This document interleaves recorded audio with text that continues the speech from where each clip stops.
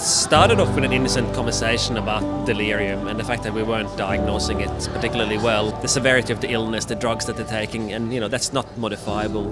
But there are modifiable factors, and the environment stood out as one of the big things that's actually causing issues like delirium and longer term issues such as anxiety, depression, uh, PTSD, etc. We've got an idea of what it will look like. We're starting to get uh, our heads around the technology uh, that we will be integrating and working on some of the software uh, in the background. So at this point, we, we know what we want to do, we know where we're heading, uh, we just need to raise a, a, bit more money to actually be able to, to see it um, come to fruition.